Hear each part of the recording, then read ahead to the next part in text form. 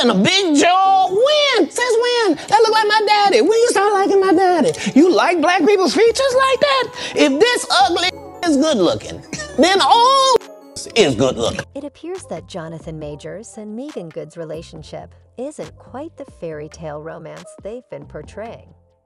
According to Katt Williams, things are quite toxic between Jonathan and Meagan. Given the circumstances surrounding their relationship, it's not too hard to believe Katt's claims. He first called out Jonathan during his messy interview on Club Shay Shay in January this year, but it seems he has even more dirt on Jonathan now, alleging that Jonathan has been physically abusive towards Meagan. What's going on here? Does Katt have any evidence to support his claims? Or is he simply trying to bring down another black man, as Dave Chappelle suggested? Let's delve into this. Meagan Good and Jonathan Majors' relationship has been in the limelight for the past few months, but the scrutiny on them goes back even further. Jonathan's love life has been under media scrutiny since he was arrested for domestic violence against his then girlfriend, Grace Jabbari. Meagan, on the other hand, has had her love life in the spotlight since her divorce from her ex-husband, Devon Franklin. Unlike the usual drama-filled celebrity splits, Meagan and Devon's divorce was surprisingly straightforward and drama-free. They even presented a united front, breaking the news with a joint statement on Instagram. They said, after much prayer and consideration, we have decided to go into our future separately but forever connected. We celebrate almost a decade of marriage together and a love that is eternal. There's no one at fault. We believe this is the next best chapter in the evolution of our love. We are incredibly grateful for the life-changing years we spent together as husband and wife. We spent weeks trying to figure out what had gone down between them because if there was one couple we thought would be endgame, it was Meagan and Devon.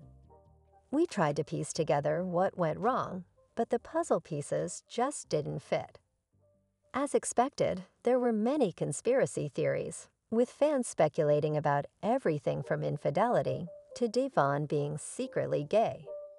The imaginations were running wild. Despite all the drama, Devon and Meagan handled things with grace online. There were no messy accusations, no blame games, just a lot of questions that we still haven't gotten answers to. These two kept their mouths shut about the divorce and moved on. They seemed to handle it in different ways. A couple of days after they announced the divorce, Devon posted a picture of himself crying on Instagram with a caption. I took this picture a few months ago.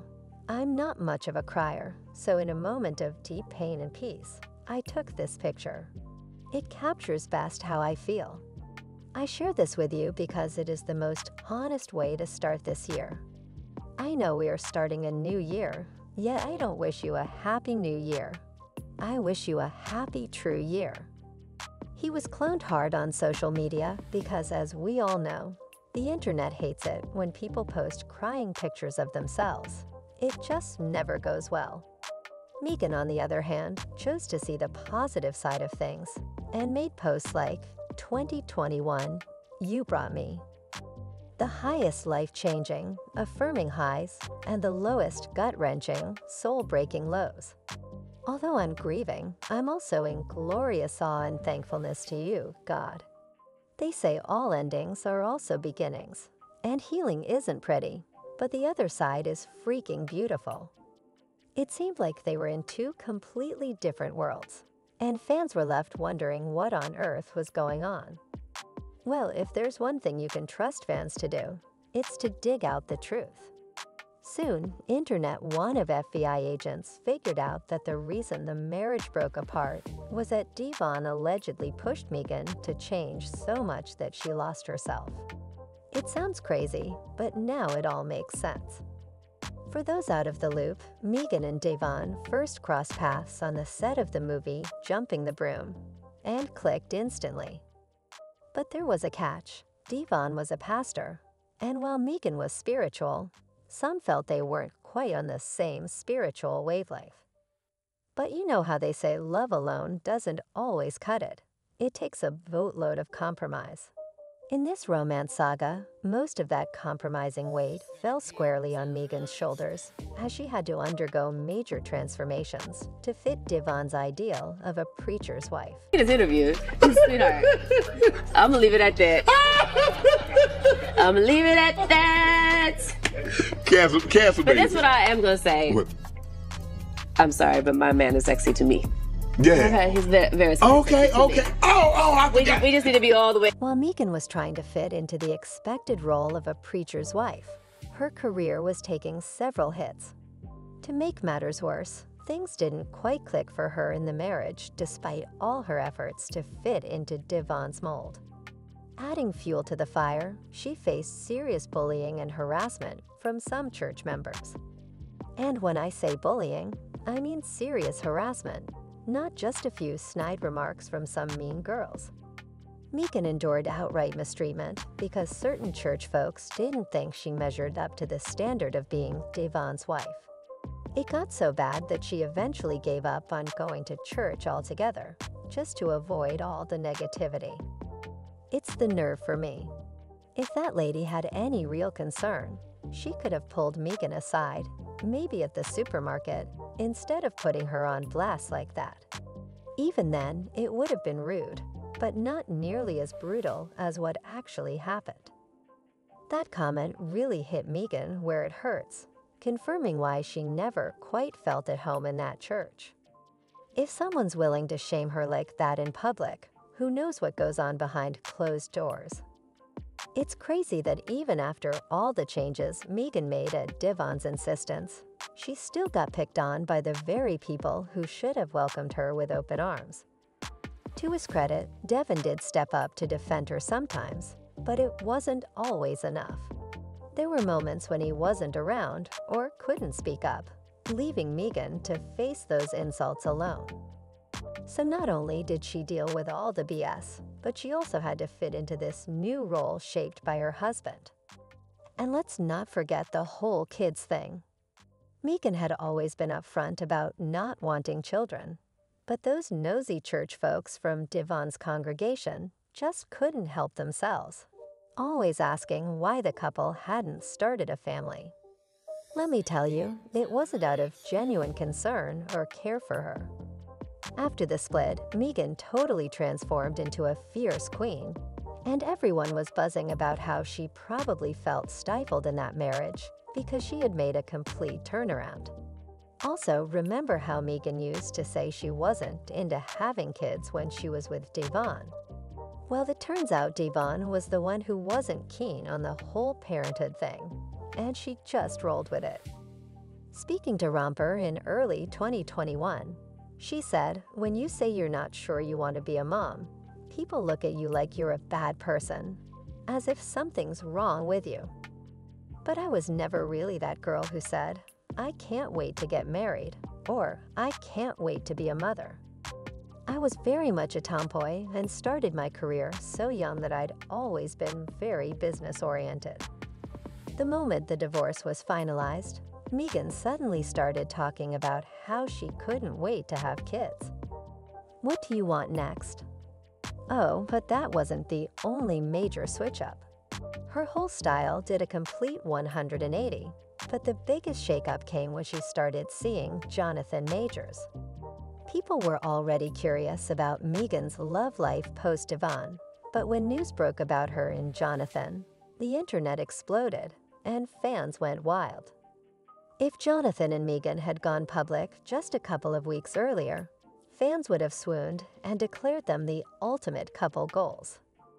Unfortunately, they made it official right smack in the middle of Jonathan's DV trial, turning it into a total circus. Meagan got slammed left and right for this, and fans accused Jonathan and his team of using her, a black woman, to clean up the mess he had with his ex, Grace Jabbari. According to TMZ, Jonathan and Grace were in a taxi on their way back home from a Brooklyn bar when she noticed he was getting texts from another woman. This led to an argument in the back of the taxi. Has reported that Jonathan allegedly got mad grabbed her hand, and slapped her. We're also told the alleged victim claims he put his hands around her neck during this incident. Sources say the alleged victim had visible injuries, including a laceration behind her ear, redness, and marks on her face. She was taken to an area hospital and is in stable condition. According to police sources, Majors called 911 himself to report his concern about his girlfriend. When police arrived, sources say the girlfriend told a different story that she and Majors were in a cab on the way home from Brooklyn when he physically attacked her. Patrol officers noticed marks on the woman's body and placed Majors under arrest. So, the, the canceling. Uh, what, what what do you think about this cancel culture? You see the situation with Jonathan Major. I mean, for all sense and purposes, I, I don't know if maybe he can bounce back in, in a couple of years. But man, he was he was hot. He was hot. He was cooking. I mean, you see him in Creed. He's in the Marvel movies, and then just like that. Maybe I'm a conspiracy theory, but I thought Katt Williams. Katt didn't stop there. In addition to claiming that Meagan and Jonathan cheated, he also alleged that Jonathan had already been violent toward Meagan. While the truth of this claim is uncertain, Katt is now sending a strong warning to Meagan to be careful around Jonathan. However, Jonathan is furious about this and called Katt out for his BS, accusing him of hating and making up stories to fit his agenda. According to an insider, Jonathan believes that Katt is thirsty for attention and clout and is constantly making up stories for that purpose. But Jonathan thinks that Katt has gone too far this time. Fans have commented, what I take from Meagan Good dating Jonathan Majors is that whatever she and her ex had going on in that Christian marriage must have been so bad she just lost all her marbles. Another added, I want to remind people that Meagan Good knowingly went into a relationship with a man who was already in a relationship and was abusing his girlfriend. She then appeared at every court appearance in support of him after playing a role in the relationship's breakdown. Meagan Good will never recover from this, and that's unfortunate because she had just jumped into a resurgence. This was the worst decision she could have made decision she could make Jonathan crazy self may come back, but her fan base is not a fan base that forgets this kind of mess. But do y'all believe that Jonathan is really putting paws on Meagan? Drop your thoughts in the comments, then check out this next video music.